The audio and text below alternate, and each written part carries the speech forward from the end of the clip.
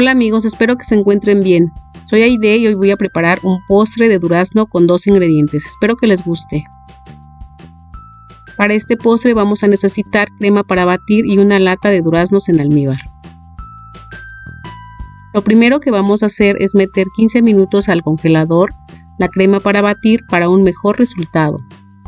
Después separamos la mitad de la lata de duraznos junto con la mitad de su almíbar.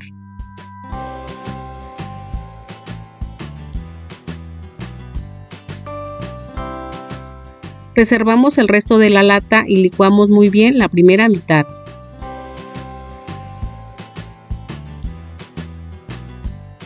Después la agregamos a un recipiente y la reservamos. Ahora picamos en trozos pequeños los duraznos en almíbar que habíamos reservado. Los agregamos a un vaso y reservamos. Sacamos la crema para batir del refrigerador y la agregamos a un recipiente. Y comenzamos a batir hasta obtener una mezcla muy cremosa.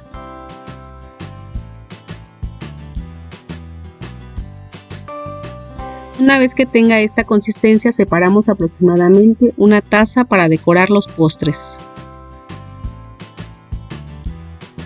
Y la metemos dentro del refrigerador. Ahora agregamos a la crema restante la mitad de la mezcla de duraznos y continuamos batiendo. Y después agregamos la segunda mitad. Cuando ya tengamos esta mezcla muy cremosa, la agregamos a los vasos o flaneras. Agregamos la mezcla a los recipientes hasta la mitad. Después les agregamos trocitos de durazno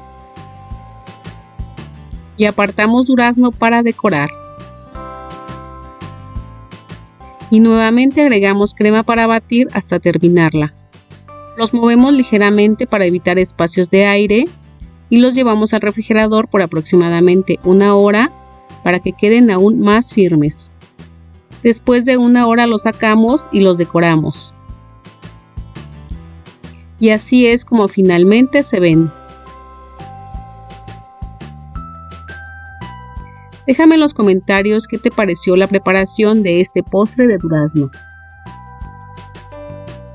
Te invito a suscribirte para ver más videos como este. Muchas gracias a todos por acompañarme en la receta y hasta pronto.